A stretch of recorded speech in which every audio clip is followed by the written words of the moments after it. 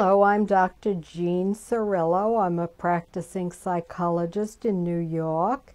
Today we're going to talk about acting out behaviors of gifted kids in class.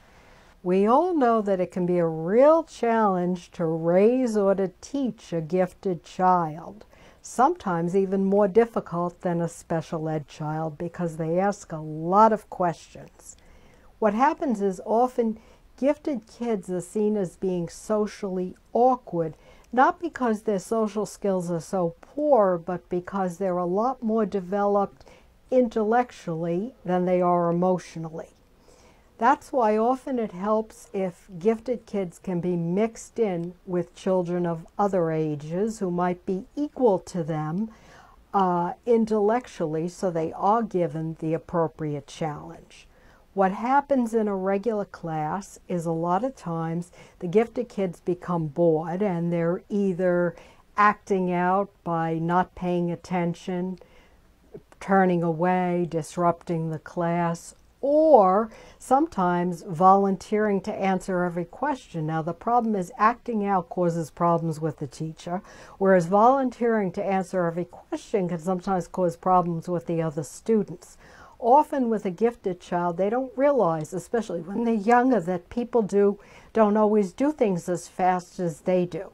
Like there was one kid who, who the other kid was counting the, the number of pegs on the, on the die, and the kid was saying, "Can't you do that? You know, what? Can't you just tell that there's five there?" And the teacher said, "Look, you know, some people can't."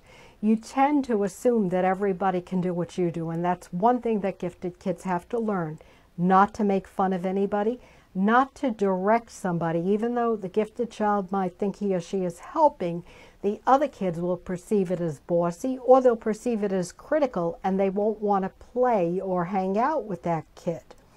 So a lot of times the gifted child has to learn to appreciate their unique skills by going into special stimulating activities and also realizing that they shouldn't only define themselves by their intelligence, because then when they encounter something that they can't do, let's say an athletic activity or something that doesn't require as much mental uh, ability, often they become frustrated too easily.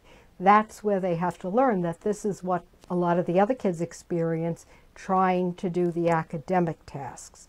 It's important to foster the gifted child's uniqueness while at the same time teaching them how to get along and take other people into consideration.